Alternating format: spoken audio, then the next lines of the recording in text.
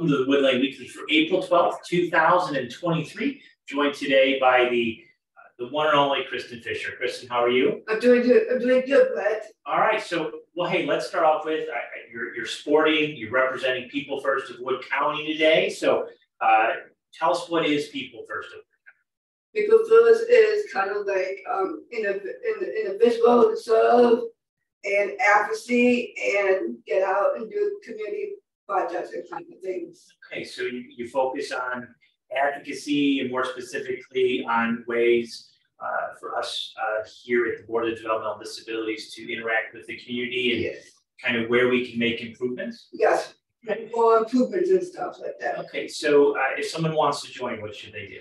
Well, if you wanted to join, I hope I see everybody there, but you need to contact Louise or Rhonda Kendall.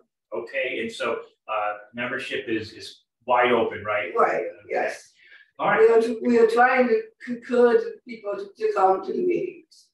so hope to see you there. Yeah. Uh, and then while we're getting it, let's talk about some of the events that are coming up. April is a busy month for us. Right, Yes, we is. All right, so April nineteenth, we've got the spring Fling.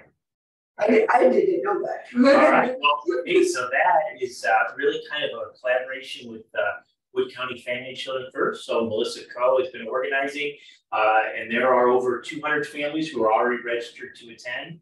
And so uh, we would love to see all of you there as well. Uh, so Kristen, if you mark your schedule, we, we can get in on that busy calendar of yours. I do have a busy schedule, but I have volleyball. Okay.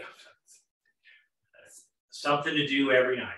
Yes, All right, well. I have to work. Well, hey, well, let's talk about Friday, April twenty-first. So during the day, we have the tech fair, uh, the assistive technology out at Owens Community College. Can you- Can you fit that one into the schedule?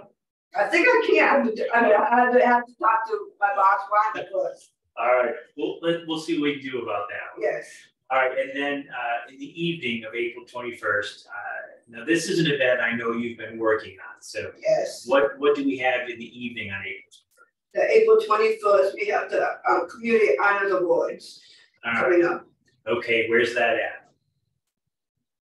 Uh, Grand Rapids area, Yep, it's in Grand Rapids, Ohio at Nazareth Hall. Uh, we've received several nominations for community honors. It's a chance for us here at the board to say thank you for everyone who has given such great, uh, really assistance, guidance, uh, and, and, you know, uh, given of themselves over the last year in a way for us to, uh, turn the favor. Uh, and you will be in attendance as well? yes, I'm gonna be attendance to help out. Okay. All right, and then, uh, looking forward to that night. And Then after that, we transition to May and the May recreation calendar. What do you want folks to know?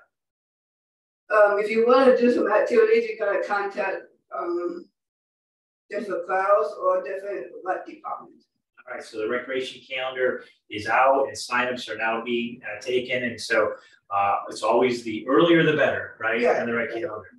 All right, uh, anything else you'd like to talk about this week? I don't. Okay, I want to thank you for joining. We'll see you next week.